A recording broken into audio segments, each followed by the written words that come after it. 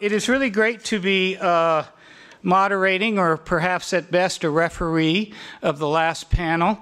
And uh, they saved the best la for last, of course. And I'd like to very quickly introduce our esteemed experts. Of course, we have Beth Van Schaack starting at the end. And uh, Beth, of course, comes to us from Stanford Law School. And uh, before that, she was, of course, Ambassador Rapp's deputy. We have Leila Sadat coming to us from Washington University, from the Whitney R. Harris World Law Institute. We have, of course, David Crane, Director of Practice at Syracuse Law School, the first prosecutor at the Special Court for Sierra Leone. I have had the pleasure of knowing David Crane for over 30 years, and uh, what, what's that make, about nine or 10 when we first met, Dave? Yeah, there we go. Okay. Uh, we, of course, have Maggie de Guzman here joining us from Temple Law School and uh, someone you met earlier today, Don Ferencz. Please take a look at their full bios in your package of materials. And again, it's, it's my pleasure just to be up here on the stage with them. Uh, you know, it's really great when you're having a panel and the substance of your panel is introduced by the keynote speaker that we had today. It's really terrific that Ambassador Rapp came up here. And, and what's even better is that now this panel gets to critique everything he said this morning, and he has no right to rebuttal.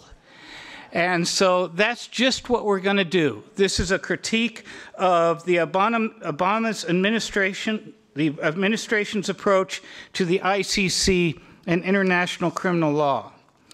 Uh, we very much want to hold this in a discussion format and, uh, you know, just kind of maybe throw some topics out to these panelists because uh, if you know these panelists, they, they have no trouble expressing their views and their opinions. And so we'll just try to get them started. And uh, I would like to just maybe throw the first thing out. And uh, if you recall Ambassador Rapp this morning, he said that moving from the Bush administration to the Obama administration was kind of like turning the car around in the garage. And if you look at, uh, and I'm reading right now to you from an essay that was uh, submitted for this conference by Maggie de Guzman, and she will, uh, and I think all of these will be available for you soon. And so I very much encourage you to read it. But, but she starts off with, uh, a few statements by President Obama and uh, then Secretary of State Hillary Clinton.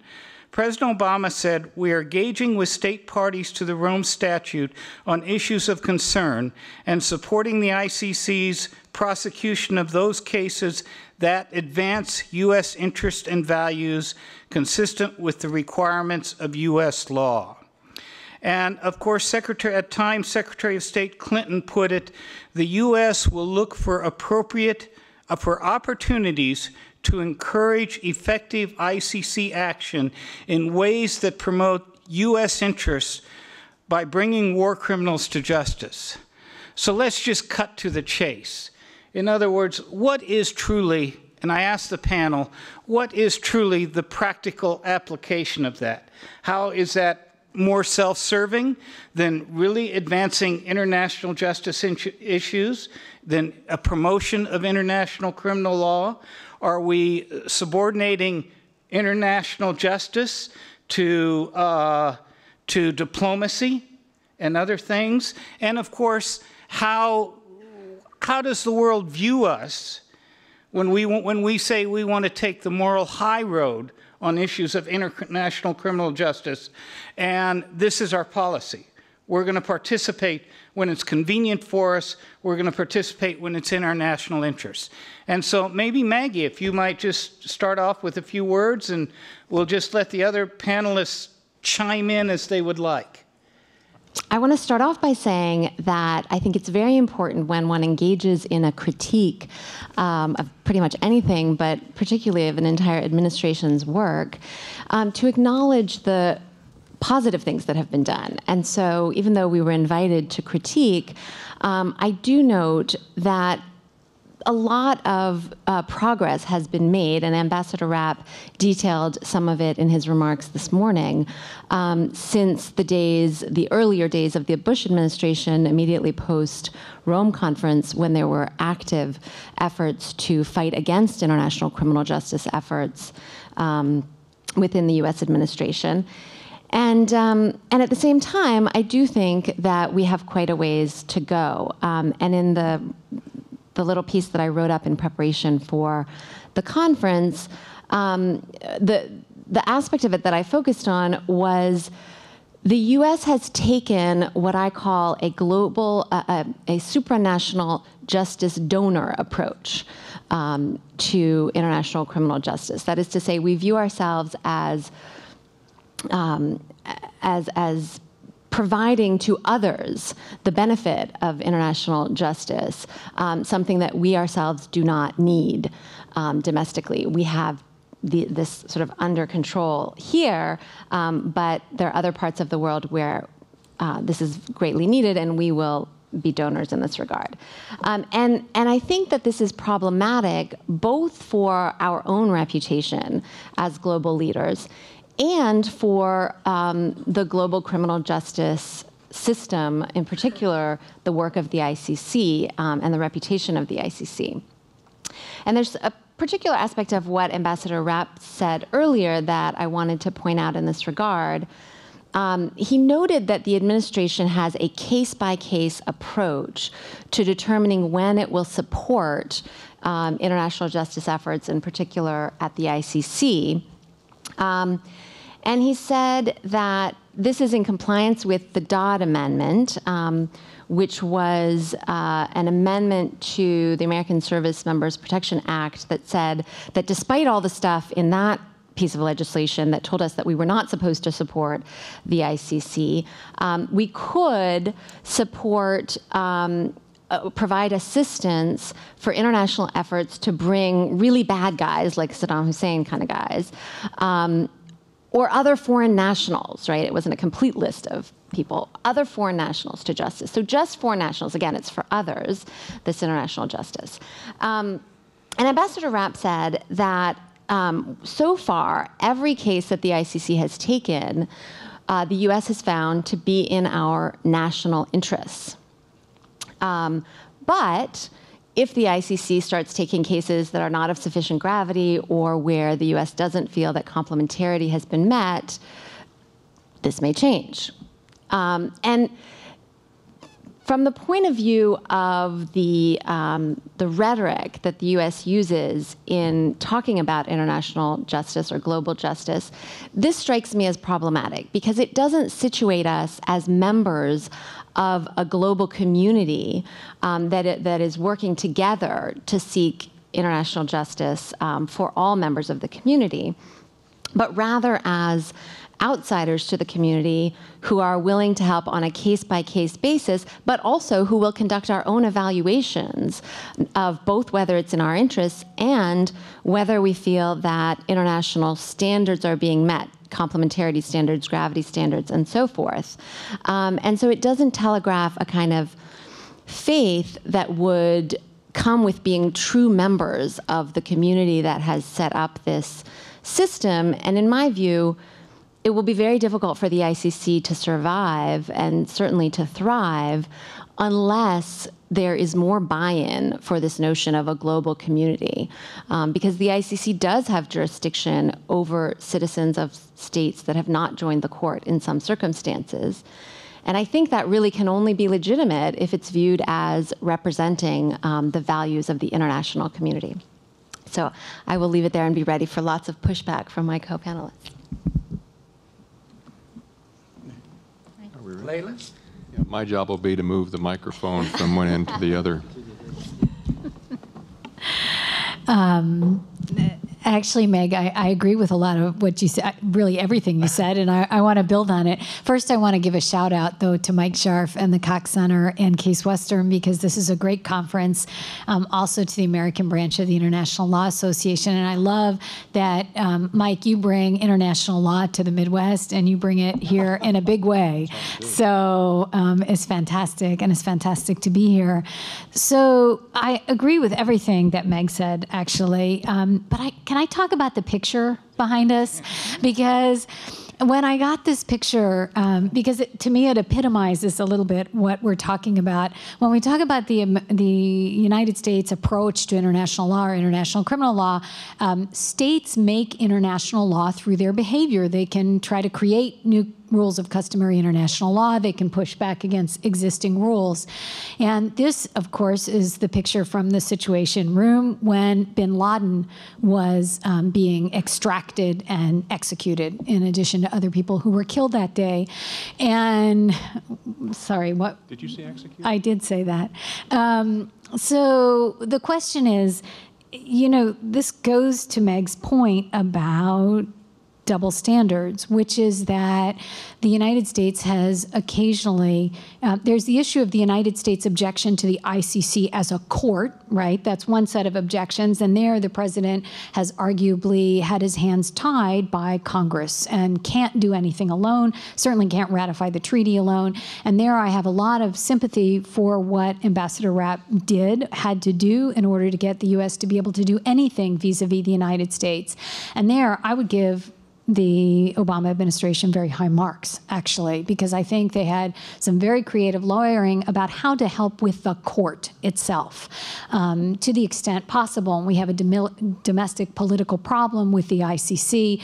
It's practically completely radioactive and highly toxic in Congress and very, very difficult to do anything. So, there, actually, I give the administration huge credit for completely changing the policy of the Bush administration, although I know John John Bellinger said, we really changed it in 2006.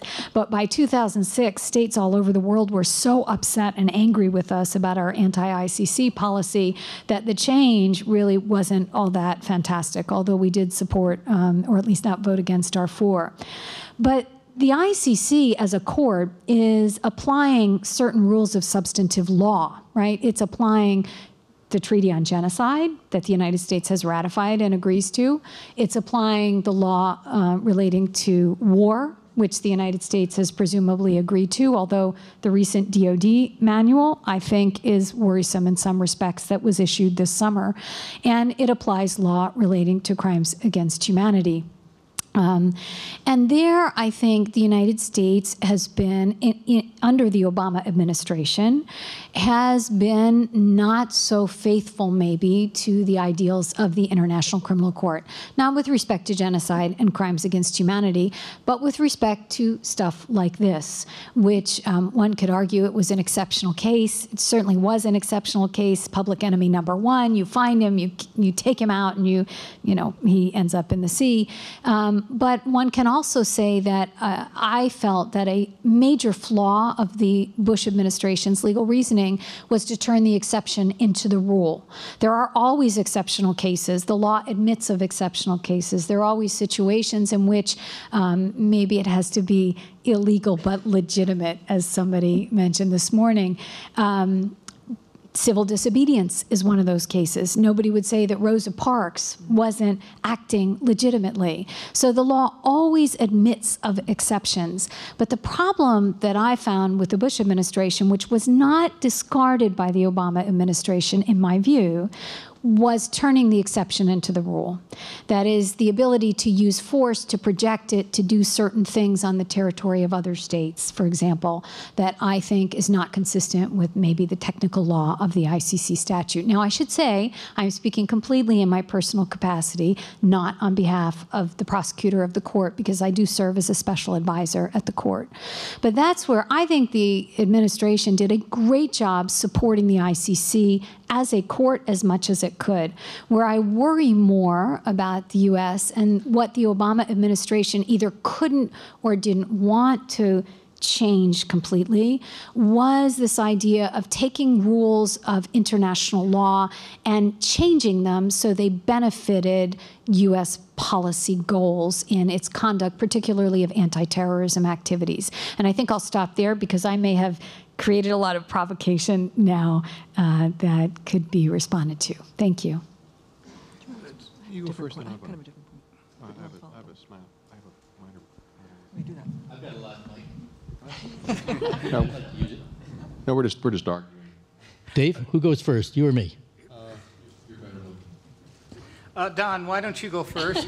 Then we'll pass it down the table to the best-looking one on the end. Couple of things. I- I- I'd, I'd like to jump right into uh, some grapes that I have with the Obama administration, a very specific one. Uh, Some of you heard me say this morning something about the crime of aggression. Nuremberg trials were held. Robert Jackson, the American prosecutor, and the American government made sure that these Nuremberg trials went on and were held as trials. Stalin and, uh, and uh, Churchill would have been very happy to not have a rule of law, but rather take out the top uh, Nazi high command and murder them. That's what they wanted to do. The Americans insisted on a rule of law. They wanted to set a precedent for the future. They wanted to take mankind forward toward a rule of law. Uh, when that trial was done, Robert Jackson wrote to the President of the United States, and he said some very interesting words. He said, No one can hereafter deny, no one can hereafter deny or fail to know that the principles on which the Nazi leaders are judged to forfeit their lives constitute law and law with a sanction. He's writing to the President of the United States, 1946, October. Do we have law with a sanction today relative to the crime of aggression? This is a question that's being bandied about right now. The International Criminal Court member states met in the summer of 2010. They were working to give the court, at long last, active jurisdiction over acts of criminal aggression. And who do you think standing in the way of it, trying to stop it? The United States. I gave a talk in Denver Law School a couple of years ago, the crime of aggression, who's trying to kill it and why. And we know why the United States is trying to kill it. There was what was referred to as a major policy speech on the crime of aggression, and I'm quoting from Beth von who wrote a little piece on it after the American Society of International Law's annual meeting this year. There was a statement by an undersecretary, Sarah Sewall, at the U.S. Department of State, and she said, the reason we are concerned from the U.S. point of view with the crime of aggression being activated before the International Criminal Court, and let me remind you what the crime of aggression is. It is an act of military, typically use of force, not sanctioned by the UN Charter. That means not authorized by the Security Council and not in self defense. The United States went on record saying, We're concerned that when we want to use force in violation of the face of the UN Charter, that our military partners, our coalition partners, they may be, quote, chilled by having a definition of the crime of aggression in the statute. Well, isn't that the whole point? For those that are going to take the law into their own hands like vigilantes, shouldn't there be a chilling effect of the rule of law to make them stop and ask, like Tony Blair should have done with the invasion of Iraq? Maybe some of you have heard the story. He asked his, his generals, wanted a legal opinion, saying, Is this legal, what we're doing? Lord Goldsmith wrote an opinion, said, No, it's not legal. Tony Blair said, That's not the opinion I want. And there's still a Chilcot inquiry going on today in the UK. So the US has gone on record saying this will have a chilling effect on our treaty partners because it's too uncertain. Now, they said some other things as well, but I want to share something with you in this room. At least you'll know a little something about what's really going on behind the scenes. This business about giving the International Criminal Court jurisdiction over the crime of aggression was so watered down in Kampala at this review conference in 2010 that, in fact, every country that is a member of the Assembly of States Parties the International Criminal Court, they can, by signing a piece of paper, opt completely out of the court's jurisdiction. There's a reason I want to tell you about this. It's not because I want to be picky and pedantic. The United States statement at the American Society of International Law said to anyone who was listening, we don't want this to have a chilling effect because the definition is so uncertain. that they're afraid they might be caught up in something that would be deemed illegal by the court. And yet, all of these partners of ours could opt out if they wanted to sign a piece of paper saying, we're not covered by the court's jurisdiction on aggression at all. So, where's the big chilling effect if they can get a complete get out of jail free pass? I'll tell you what I think is really happening in between the lines. The British are members of the court. If the U.S. asks them to engage in a coalition activity again, like Iraq in 2003, they have a choice. They either join and maybe be subject to the court's jurisdiction on the crime of aggression, or they opt out. Does the UK, a coalition partner of the United States, want to publicly go on record as saying we are opting out of the court's jurisdiction? Who would opt out of the court's jurisdiction other than somebody who was afraid they were breaking the law?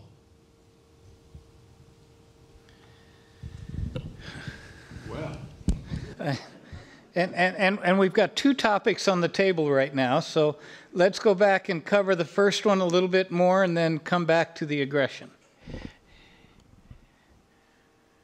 I'm not going to speak on aggression at this particular point. I, I do want to just underscore uh, some very good points that my colleagues and, and, and dear friends were making. Uh, I think the U.S. position, despite the political dust in the air over a period of 10 years, has evolved into, I think, a practical, balanced approach related to the ICC. Yes, I'd like to see uh, the United States a states party, but it's not going to happen certainly in my lifetime. But that's okay. I think what we have done uh, recently, I think, is a way by which we can have the ability to support the idea of international criminal justice, support the world's only permanent court, but also have the ability to create mechanisms which uh, uh, my friend Stephen Rapp talked about this morning that allow us to give us the flexibility to shape and mold transitional justice mechanisms to fit uh, precisely uh, what is needed, and yet not go against the concept of what the ICC is all about, which is really a court of last resort. So I'm a big proponent of complementarity.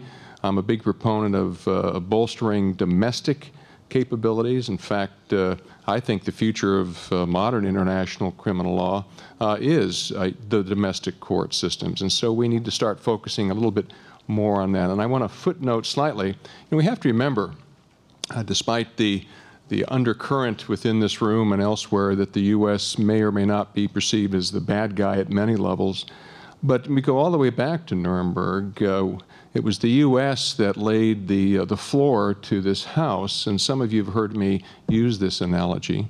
And over time, once the Cold War was over, we began to put in the planks and the walls and et cetera. And, and we essentially, uh, through Nuremberg and the ICTY and ICTR and the Special Court for Sierra Leone and other justice mechanisms, uh, the United States' leadership uh, helped build the modern international criminal law house. We were the foreman.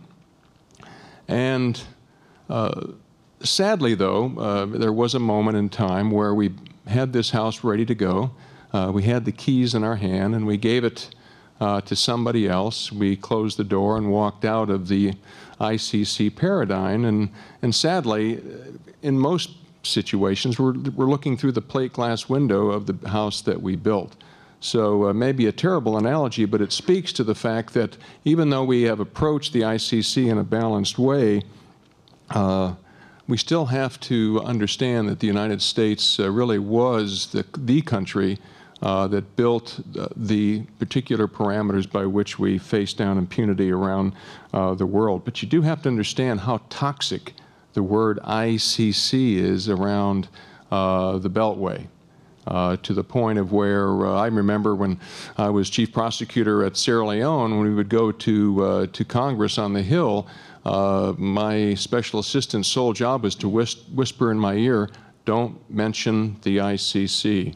Don't mention the ICC, because you could literally see staffers and members' eyes just go click, uh, and that I'm being a little bit literal, but the point is, is that that's still pervades uh, uh, even today uh, in the House Foreign Affairs Committee, even though Ed Royce is true champion of human rights. If you want to see him kind of bristle, just say ICC And that's a very powerful voice. You have to be very careful. So I just wanted to underscore uh, that we've come a very long way from uh, the ambassador at large for war crimes at the time, traveling the world, beating small nations into submission under Article 98 agreements, to where we are now, where we are, to the extent that the law will allow us, uh, actively a partner uh, with the ICC in facing down uh, the beast of impunity.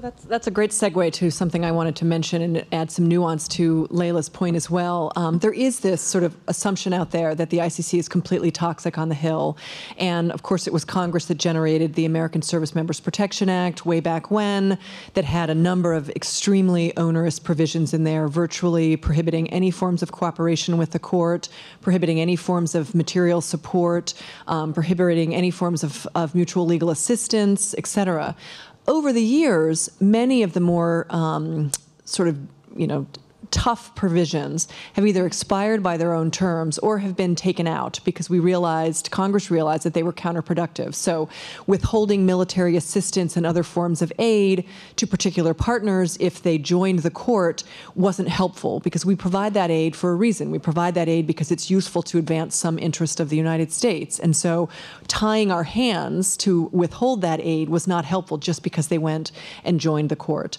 So I had an intern when I was in, in government do an analysis of the congressional record and basically collect every statement of the ICC and code it as either positive, negative, or neutral.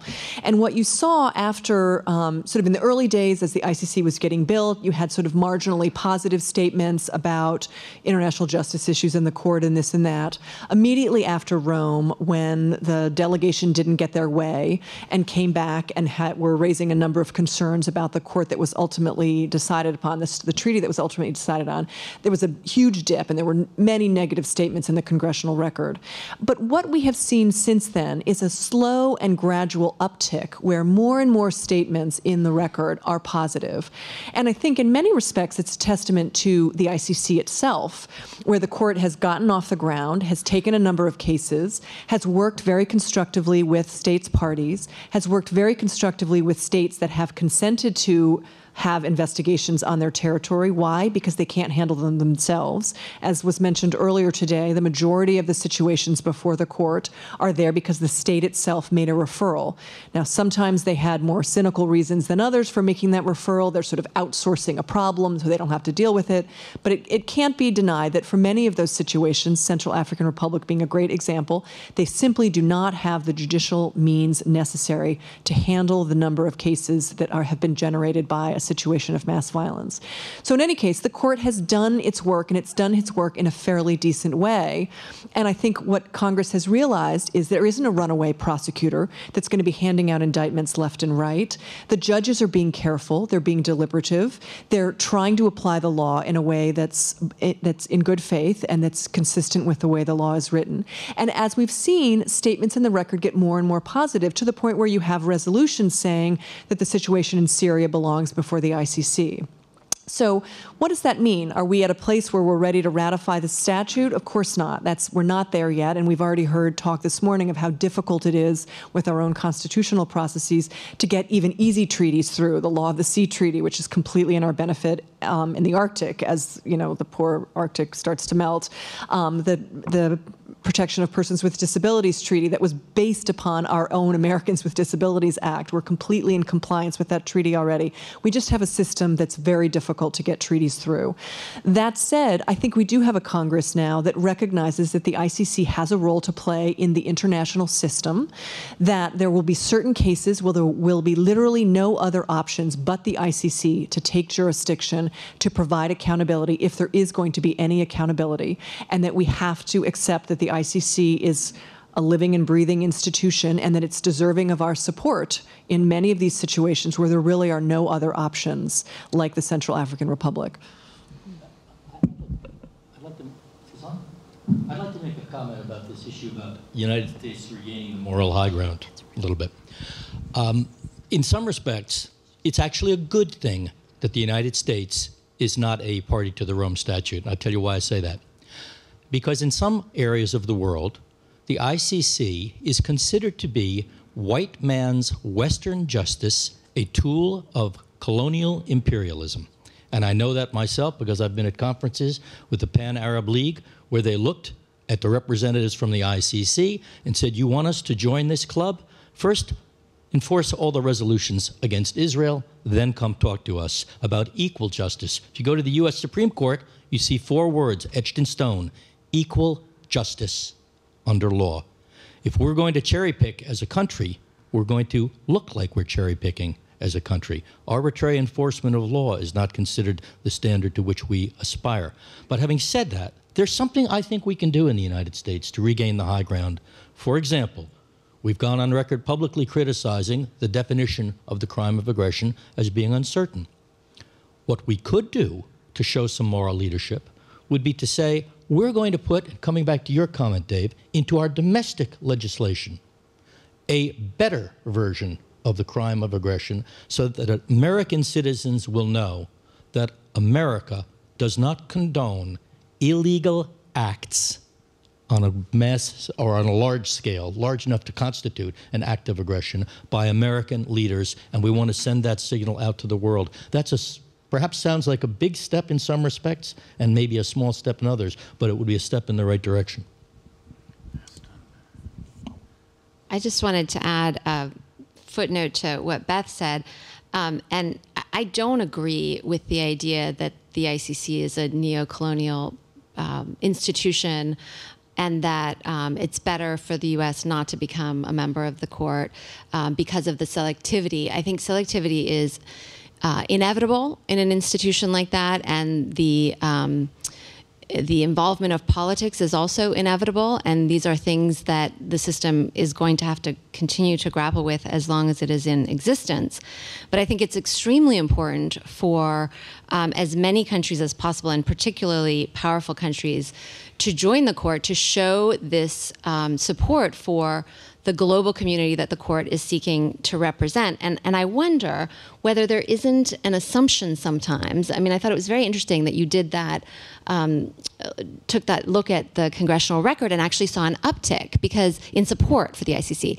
I think there's often an assumption that the ICC is and will remain toxic. And I wonder if it's time now to question that. Um, and I point to a study of 2014 of the American public, um, which many people believe to be at, best um, neutral and at worst against the ICC. And in fact, it turns out that most people who know anything at all about the ICC support the ICC and even the idea of the US joining the ICC. Now, it's true that many people don't know what it is and so don't have any kind of an informed opinion.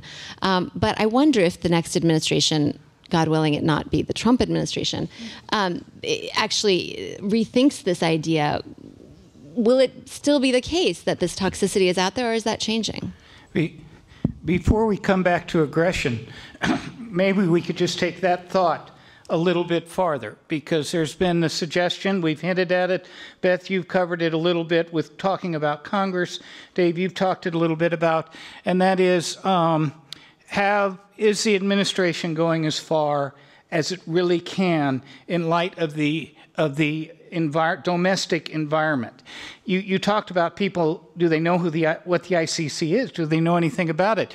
We had a reference to Google later, and you know, you type in ICC to Google, first thing that comes up is the International Cricket Council, which, by the way, uh, Australia beat England last weekend by eight wickets. Have no idea what that means. Uh, you get the International Color Association, or International Color Commission, I believe. And really, you have to get to the second or third page of Google before any remote reference to the ICC comes up. And so perhaps you could comment on your thoughts on that for just a moment, please. I'm a, I'm a big believer that in at the time the ICC statute had, was drafted, basically, which was 1998, it was a big um, conference in Rome. Many of us here were there representing various delegations and NGOs. Um, there was no domestic constituency around these issues. And I think that was really a mistake of the human rights community, the sort of domestic U.S. human rights community. I think that community, and I was among them, and so I take partial blame for this, should have done a much better job of laying the groundwork for the kind of poll that Meg just mentioned. So that when you asked ordinary Americans, what do you think about this thing going on at Rome? They're thinking about building this like new court. It's going to be just like Nuremberg, but long term. You know, what do you think about that? Get people thinking about this and build that domestic constituency. Instead, we had a situation of almost complete ignorance. No one even knew this was happening. So that when Congress had the chance to build the um, to, to, draft the American Service Members Protection Act, they could do so without any sort of oversight whatsoever by their constituencies. And I imagine if you had talked to some of those people and said, "Listen, this is what your congressperson is doing. Do you agree? Do you agree that there should be no ability in the law for the United States to assist in the, in the prosecution of crimes against humanity or genocide?" People would have said, "I don't think that's right. That doesn't feel right to me. We were we were central to the Nuremberg effort. We've been central central to building a human rights edifice, we should also be a, a strong supporter of this effort, whatever this is. And so I think gradually over time, I'm hopeful that the Google searches, the ICC will come, you know, sooner and sooner, so that it will be ahead of the International Cricket Club at some point, rather than being several pages back. And that's why gatherings like this, thank you to the organizers, a belated thanks, um, are so important, so that people are aware of this institution and can actually ask good questions of their elected representatives if and when we get to a point where we're thinking about amending ASPA, for example, either to make it more negative toward the ICC or actually relaxing some of its um, prescriptions. Um, you know, the, I'm going to take blame. Now, the academic community, I think, should take blame, not the human rights community, because I think you have a difference between the elites and I would put political and academic elites and the ordinary person. You know, Meg, those polls have been the same for over a decade.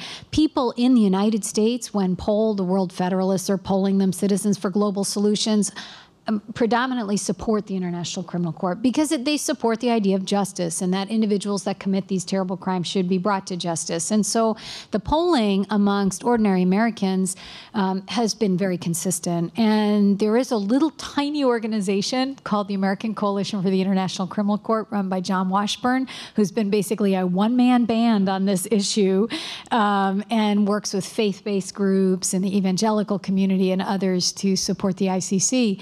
What I think happened in Rome too was elites didn't believe it would happen. There was this sense that the United States wouldn't be there.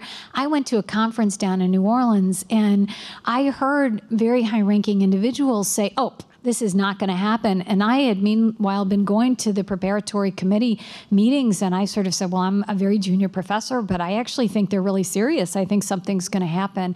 And so the United States grossly underestimated the moral fervor that was there in favor of creating the court, and then we were caught a little bit uh, in the whiplash when it didn't go our way and then all that negativity happened.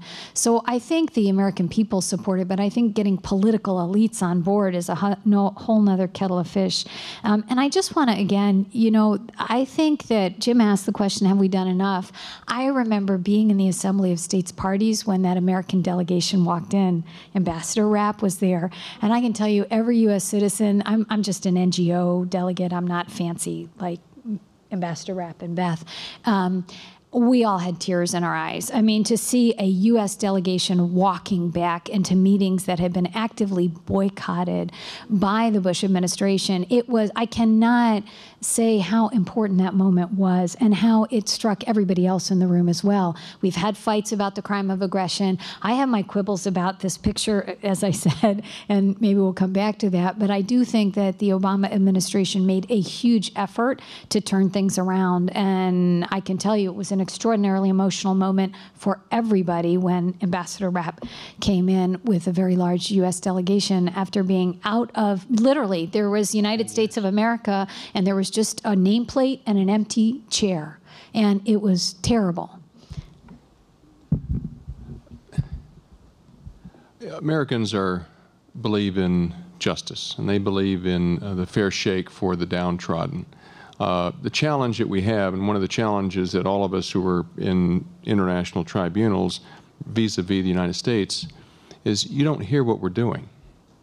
Uh, you know, I would go back to Europe or I'd go to other parts of the world, and people knew exactly what uh, our particular tribunal was doing and, and asked intelligence questions because it was covered by newspapers and covered by television and radio. Uh, and I was interviewed extensively uh, by all of those countries, to include Canada. But when I would come back to the United States, uh, there would be very little questions about that, or there was very little uh, uh, issues re related to that, other than colleagues who were uh, part of this, international criminal law or international humanitarian law, what have you, uh, the academics. Uh, the American people just aren't told about this through the media. And I think that there's a little bit of movement here related to the social networking, and I, it'll be interesting to see how that kind of plays out. Americans now don't have to go through commercial television uh, and cable television to get uh, the news and to issues. And so I think perhaps over time, Americans will be better informed. Americans just, it's not that they don't care, uh, they just don't know. Uh, and with that, uh, they don't do much about it. And I think the point is very important is that on the Hill, be it on the Senate side or the House side, you're not going to lose any votes either way on this.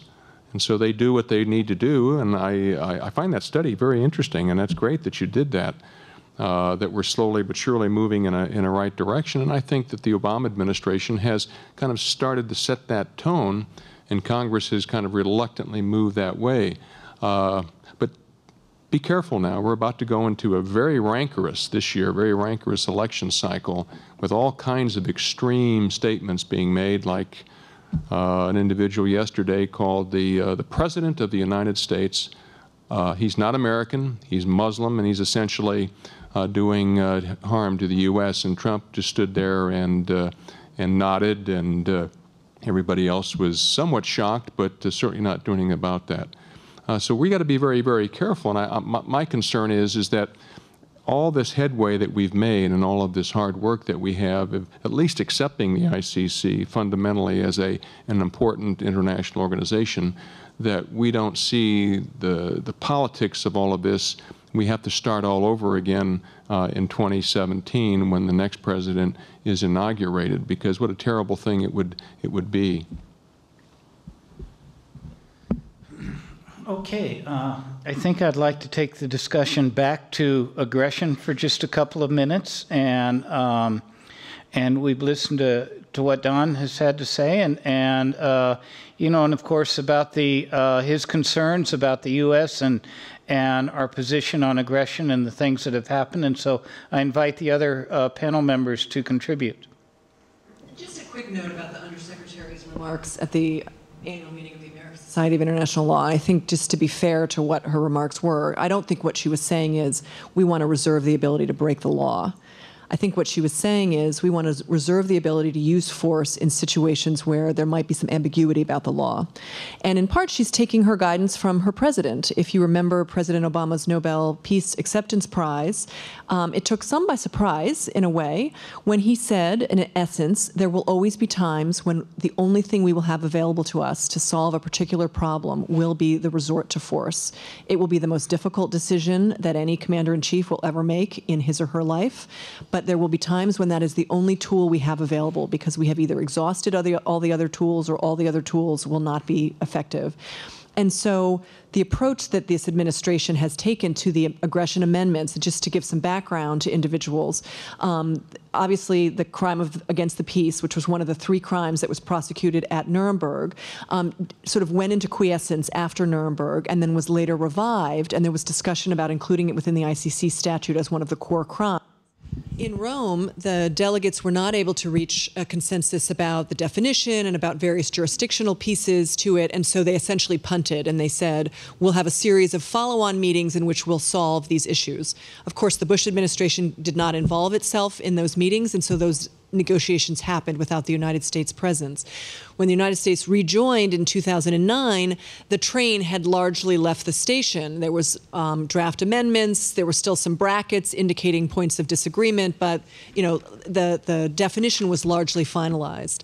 Um, I think where what, the the point that has been trying to be preserved in connection with the inclusion of the crime of aggression into the ICC is this idea of there may be situations where undertaking an act of force on a humanitarian ground to prevent the very other crimes that are part of the ICC statute will be necessary. It will be the only option available to us to deal with an impending genocide, let's say, or a massive situation of crimes against humanity. I think President Obama really believes in the idea of R2P, this responsibility to protect, and really believes in the idea that it will only be states like the United States that have the military power to do so who can actually make that real. And there are a series of principles that are underlying R2P, and they were sort of quoted quickly this morning, but the idea of sort of doing it for the right intention, doing it as a last resort, doing it in a coalition environment where possible, so it's not a unilateral action, and immediately withdrawing and stopping the use of force when the particular objectives have been reached.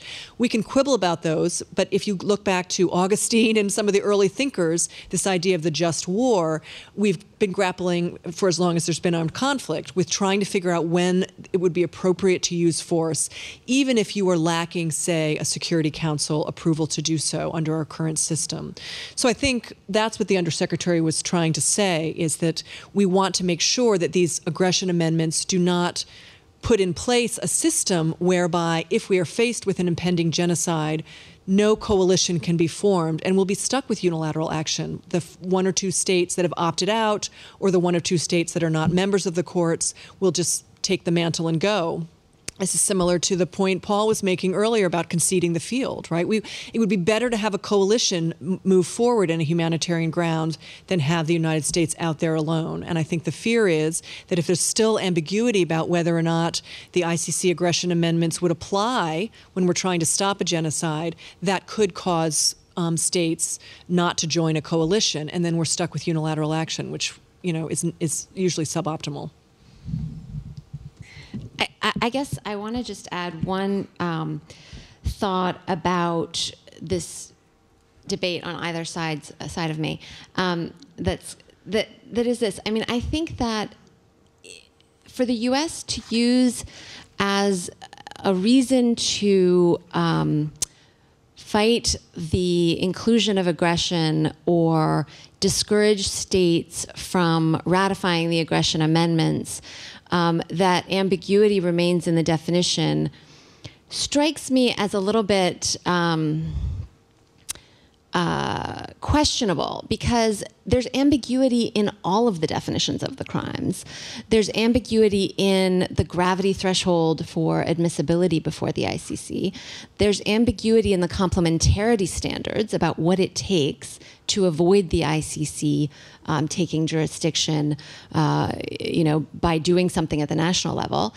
And so why would we expect the definition of aggression to be crystal clear uh, and not subject to interpretation? I think again, it gets back to there's going to have to be some amount of faith involved um, if the U.S. is going to become a member of this global community and really support it fully, um, and that faith is going to extend to a faith that the ICC prosecutor will recognize humanitarian intervention when she sees it. Um, so I, I, don't. I'm not saying that the that the excuse is disingenuous necessarily, but I don't think it's a great excuse. You know, I I think we're coming in in uh, in, in the next couple of years. We're coming to a crossroads. Uh, related to aggression, as we see more aggressive acts around the world, by uh, Russia and other nations, what a important moment it would be in the middle of this very uncertain world. And I've been in this business for 40 years.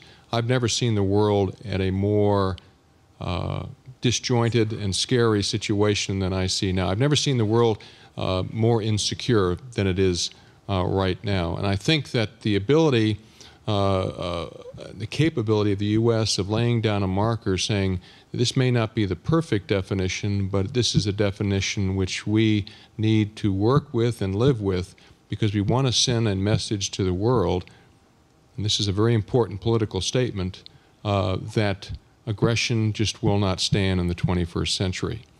And I'm not sure where that would go, but that would certainly leave other nations kind of hanging out there, and they would become a little bit more isolated in their thinking related to what kind of things that they do uh, around, uh, around the Crimea or the Ukraine or wherever that may be.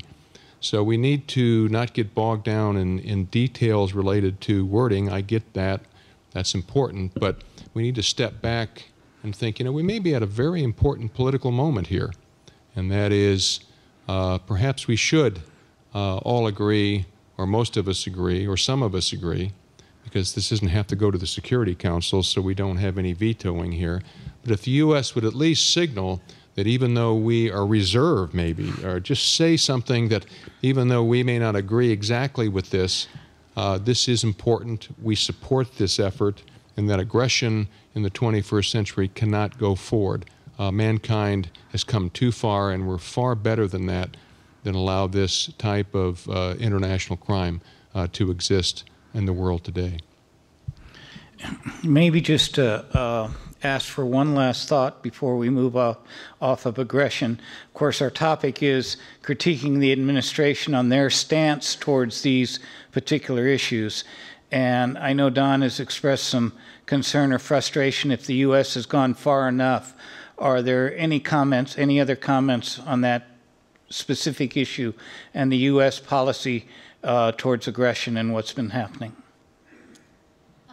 Just one other coda, one worrying thing that was included, and I actually don't know, Beth can speak to this, um, which state got it included, although I suspect it was the United States, um, and Don may know.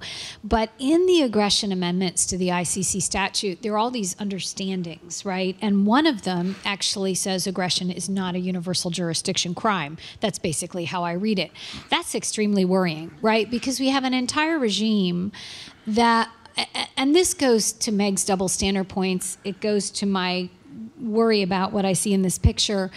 You know, we've built a regime that says certain things are crimes genocide, crimes against humanity, serious war crimes, and aggression, maybe terrorism as well in some extent, to some extent. And we say that there's a whole set of obligations, not only not to commit those crimes, but that individuals can be prosecuted for those crimes, and that they can be prosecuted not only in this in their in their national state or their territorial state, but they can be prosecuted in other states as well. And there's a whole regime in the Geneva Conventions that says if somebody's committed a grave breach, then all states have to exercise that jurisdiction. It's in the Torture Convention. It's in all the terrorism conventions, I should add, which is a crime the United States really cares about, that the United States has a right to try or extradite an individual accused of committing any of these various serious torture, uh, terrorist offenses. It's in the organized crime, I mean, hostage taking, it's in all of them. So to say that aggression would not be a crime over which states could exercise their domestic jurisdiction, right, on the basis of universal jurisdiction, is a pretty frontal attack. Now, I, I can't attribute this this to the United States. I can just say that it is a very worrying, and to my mind, it's one of the most worrying features of the Kampala amendments. Is this little thing snuck right into there, uh, which basically says that aggression is going to be extracted from the regime we've been building up to cover all the other really, really, really serious international crimes. That legal regime has been hard won. It's been hard fought. Uh, are there statute of limitations that you can use for these crimes? Because often you can't prosecute them immediately. It takes 10, 20, 30 years. Look at the Pinochet case, look at Hissène Habré. Um, and so that's my worry is less the the catfighting about the definition, issues about the court. I'm really happy to hear the political elites are getting on board. It's when the US, the United States of America, starts going after the legal regime itself, that strikes me as not in our self-interest actually, because who else is going to pick up on that? Not just Russia and China, North Korea, any other country that thinks it would be useful or politically expedient to commit one of the crimes in the ICC statute statute. But I think, so I think it's not in our self interest, and I think it actually harms sort of what I like to call the deep structure of the international legal regime that we've been building up since Nuremberg. And that's where I think I, I worry. I think what the Obama administration did was fantastic in terms of walking back in, sitting down at the table, negotiating is amazing. Where I worry is that our legacy from the prior administration of sort of spurning some of the core legal rules in this area, and we could come to the torture issue if you like, but spurning some of those core legal rules hasn't been repudiated because we found them to be actually sort of convenient. Um, and so that's my more worrying um, concern about about the legacy is the failure to repudiate what I consider. And I think Syria. I I don't think uh, we didn't we didn't go into when the chemical weapons attacks happened in Syria. And the United, and President Obama had said that's a red line, right? He kept saying it was a red line, but finally it really was a red line in August 2013, I want to say. And the French were ready to scramble the fighter jets, right? I mean, the French was going to go in, the United States. The British had this vote. I don't think because of the aggression amendments. I think because Iraq had taken place in 2003. They'd been dragged into it. There had been an assessment that it was an unlawful use of force broadly in the international community. And so that's what hurts our ability to undertake humanitarian intervention. I think it was the invasion of Iraq in 2003. I don't think it's the aggression amendment actually. I think it's the state practice. And so we now see in Syria a continuing cascade of destruction and devastation uh, because, in fact, we couldn't take action quickly when it might have made a difference at that time. And that, I think, is a terrible legacy, not of the Obama administration. I'm not sure the president could have done anything in that situation because we couldn't muster the coalition, especially in the face of Russian and Chinese intransigence. But I do think that it's a terrible legacy from the prior administration uh, that we were unable to overcome. Just make a note on the just a note on the universal jurisdiction issue, um, and then maybe a quick answer to your first question. I don't think that language is necessarily expressing a hostility to universal jurisdiction in general. It's more expressing a preference that if the crime of aggression is going to be prosecuted, it should be prosecuted at the international level because it's a somewhat different of an quality of an international crime than the others. I think that's what's going on there. We have universal jurisdiction in our own. We have your universal jurisdiction on our own law, right? The prohibition against uh, genocide, um, torture, using child soldiers, all the terrorism crimes that you they're all subject to universal jurisdiction under U.S. law. So I don't think that's what was going on there, but there's the thought anyway. But your, your first question was, and maybe we're done with that topic, but you know, has the U.S. done enough? Um, what's tricky about that question is nothing's ever public what gets done. So, what Ambassador Rapp is out there doing, and when the ICC calls with a question and they want help with something, that doesn't get publicized. And you can look at the American Service Members Protection Act and think, oh my gosh, how it's so hostile to the court, and Congress is so hostile, and of course nothing happens. You know, the reality is when a request for assistance comes in, the first approach is, can we make this work? Let's let's try and be helpful, right? We agree with these cases. These cases are important.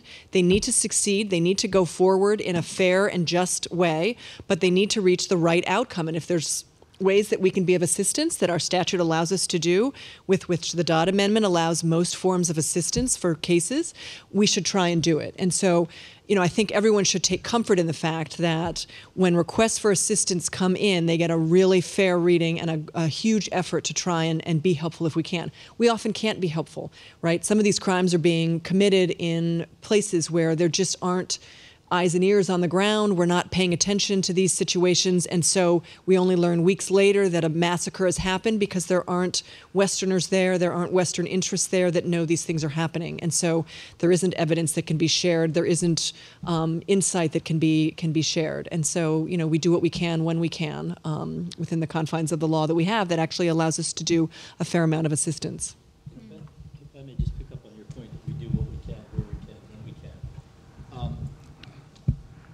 In terms of the moral high ground, you know, you just heard from Beth that with respect to crime of torture, we do countenance universal jurisdiction in the United States, meaning that we can prosecute.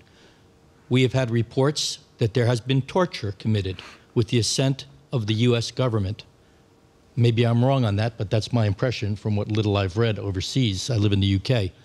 Um, I think it's time for the United States to really grapple with do we mean what we say when we say that we will not countenance torture?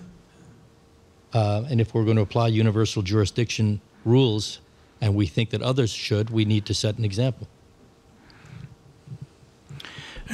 perhaps before we go to questions, uh, I just want to throw one more topic out, uh, if any of the panelists would like to comment. Uh, of course, Ambassador, and again, looking at the at the progress and what the administration has been doing, Ambassador Rapp commented this morning about, of course, the ICC isn't the only game in town, and uh, there are there are other avenues to pursue, and the administration certainly is pursuing them, and one of those really goes down the road of mixed and hybrid tribunals. And I was just curious if the any of the panel members would like to make any comments regarding that. Maybe we'll just go down the line because I have a quick comment. Um, I'm uh, involved in a group that's working on um, uh, issues related to the proposed African Criminal Court. Um, and I think that's actually a really interesting development because um, we've had hybrid courts, we've had ad hoc courts for specific situations, and we've had the International Criminal Court, but we've never had a regional criminal court. Um, and so I think that may be a new area of development um, for supranational criminal justice. Um, and, and it's interesting in a lot of ways because there are a lot of unanswered questions about how regional courts like an African criminal court would interact with the ICC, um, with national courts, with universal jurisdiction. Um, there are just a lot of open questions. And when I think about um, you know, the future administration's challenges in, in this regard, I think those are among the top challenges, trying to sort out, um, even at a very basic um, level of, of norms and, and ideals, who, who should be um, the bodies charged with trying which crimes. And the African Criminal Court, unlike the ICC, um, is going to have jurisdiction over a whole wide range of crimes, including drug trafficking, um, uh, unconstitutional change of government, lots and lots of crimes that we don't think of as core international crimes. Um, so I think this is going to present a big challenge.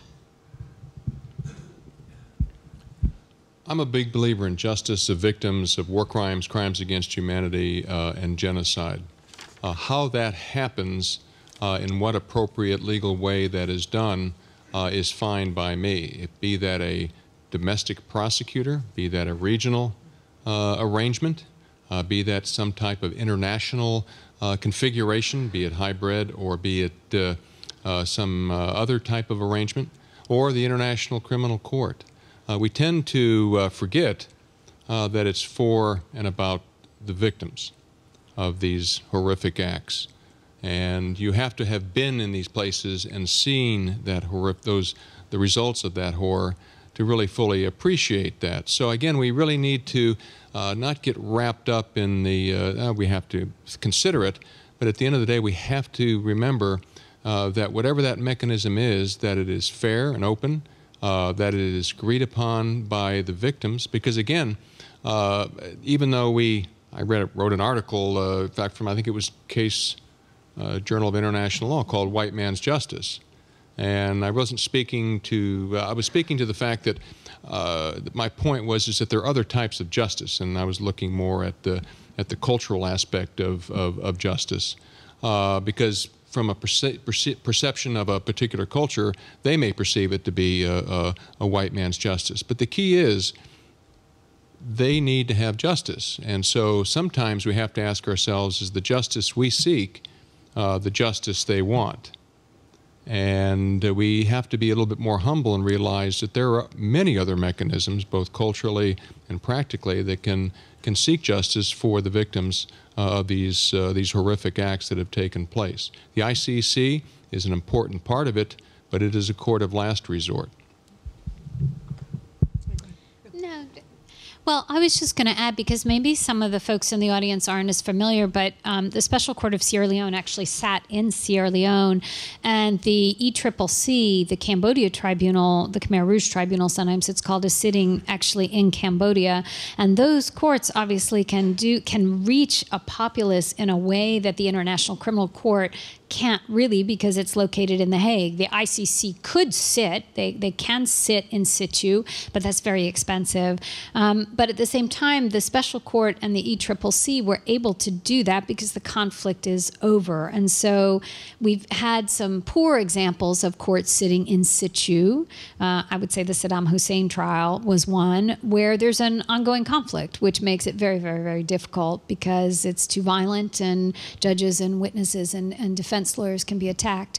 So, and I think the United States has been very supportive, actually, and Beth can speak more to that. But the ECCC in particular, I know David Scheffer worked tirelessly on that. Your office has worked on that, and I think there that, that's really contributed some very concrete good to a country that went through extraordinarily horrific atrocities. And there, I think again, the administration can be very proud of its record.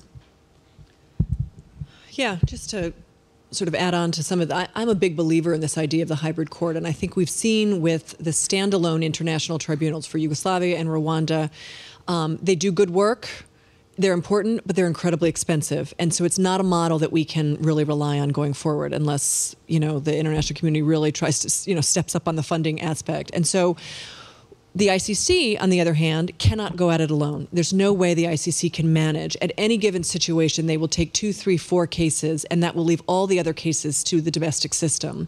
And many of these domestic systems need help. They're undeveloped, they don't have the capacity, they may not have the legal framework in place, people are not skilled, there aren't simply enough lawyers available to provide a fair defense, for example.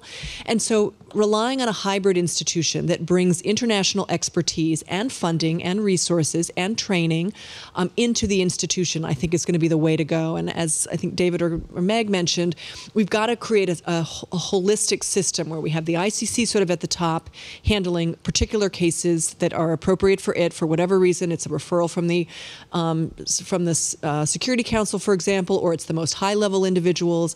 Then we have a band of a hybrid institution that we can think about existing along a continuum where some systems would need more international involvement. Some systems could get away with a few, a sprinkling of international experts that could sort of help the local um, personnel pull together cases, adjudicate those cases, and fairly represent defendants. And you can imagine these institutions existing all along that continuum. And you can also imagine them sunsetting and evolving. And so, a great model for this are the special um, war crimes chambers in Bosnia. So, the International Criminal Tribunal for Yugoslavia handled, you know, a whole 160 something defendants, but there was a recognition that there were still a number of war crimes that were not going to be adjudicated by that international body.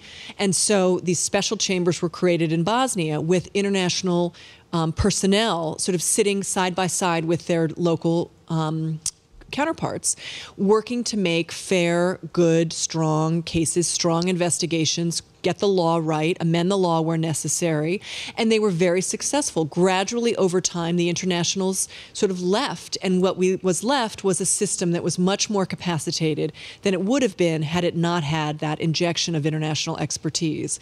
So the key is, I think, thinking about how to fund these bodies. There's certainly more efficient financially than creating a standalone body, but we still need to have an ability to fund this. And so that may come from seconded personnel, it may come from the development budgets of the sort of donor community, it may come from private foundations. You know, one way or the other, we need to piece it together to enable these sort of hybrid institutions to flourish and bring that international expertise while at the same time building up the domestic system.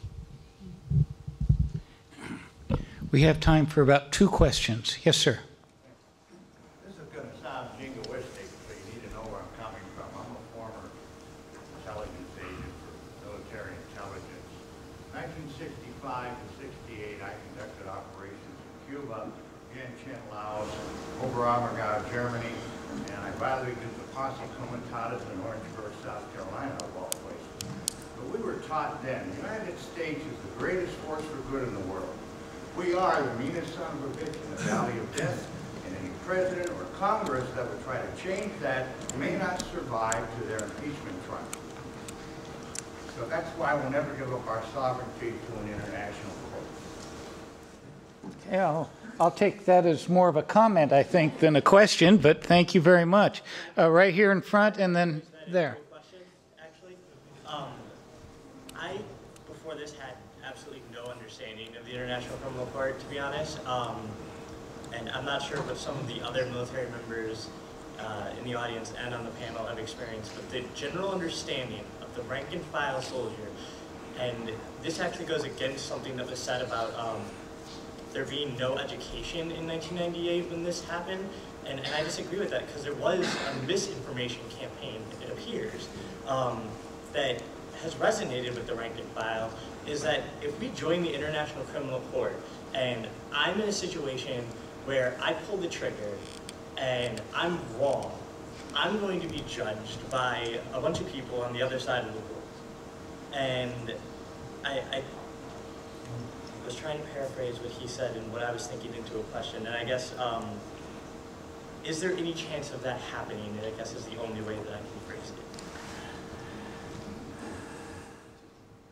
Dave, can you repeat the question as part of your answer? I don't know what the question was.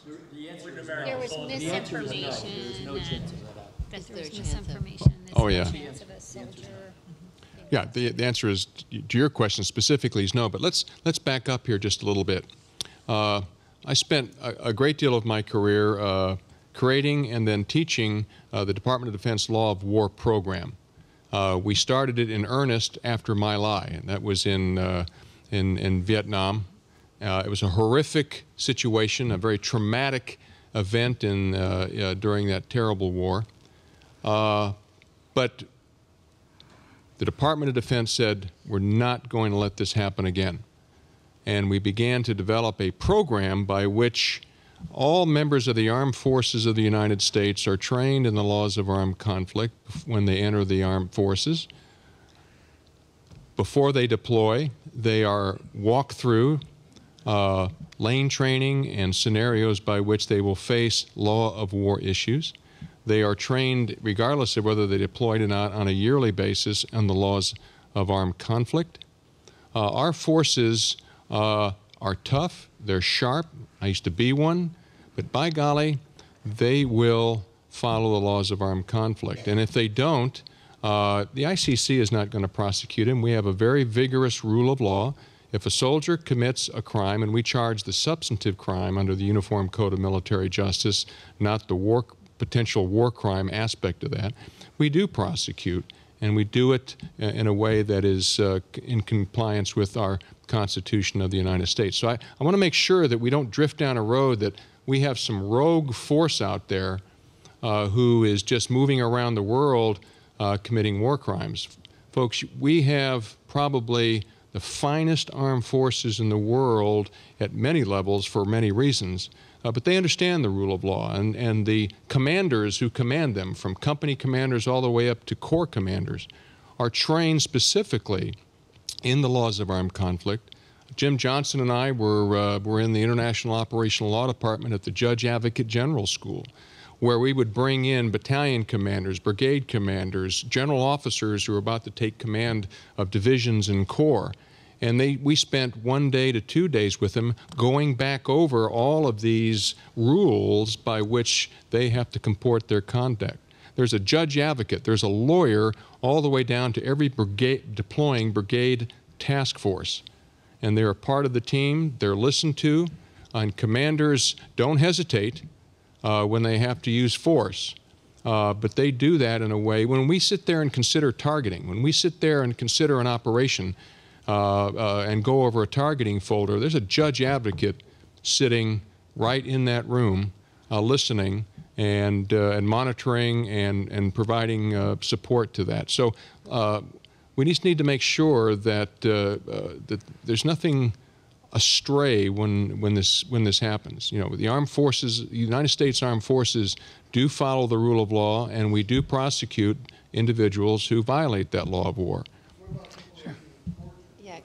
Well, again, uh, that's another issue. When the political leadership begins to uh, go astray, uh, it wasn't, yes, we did have incidents like Abu Ghraib, what have you, and I'm not defending it.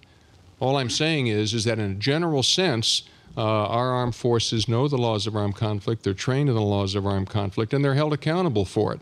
And at the end of the day, once we began to drift, like in Abu Ghraib or, or what have you, uh, we did, in fact, uh, go after and prosecute uh, those who allegedly had committed those crimes.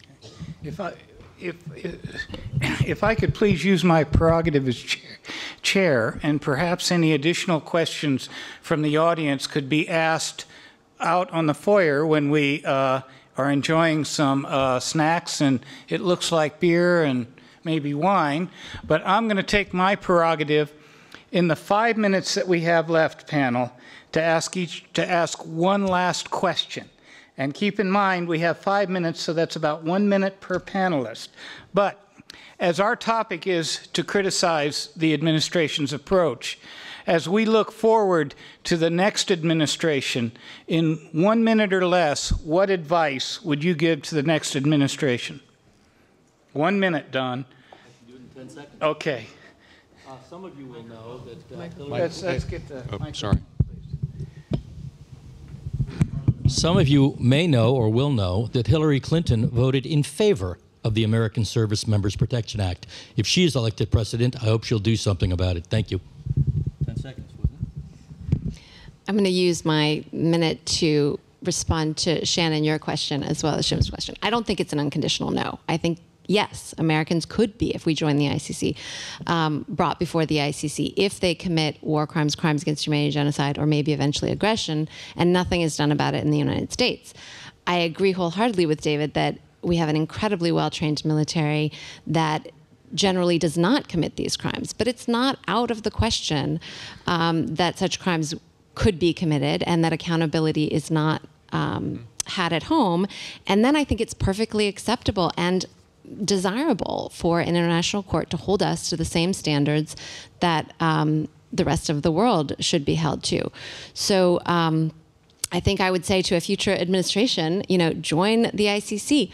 Don't uh, engage in torture or any other violations of the universal norms, and allow yourself to be held to the standards of the rest of the world. That was less than a minute. Just real quickly to, to, to respond to this, uh, the, uh, the standard is uh, uh, willing and able. Uh, the United States is willing to prosecute those who commit these crimes. I know there's a political dimension to this, and I am well aware of the torture. Is willing and able to prosecute.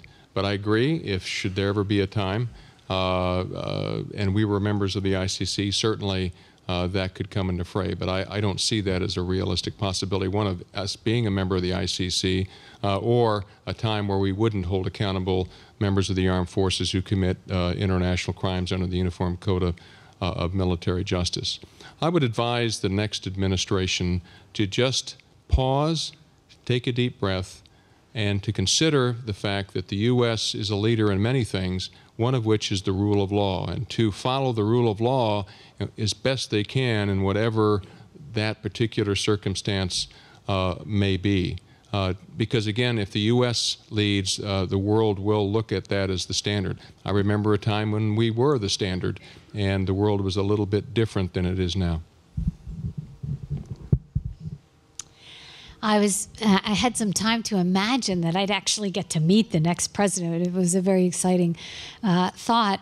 And I suppose if I had one minute with that individual, man or woman, I would say stand with the West, stand with our values that we have stood up for over time.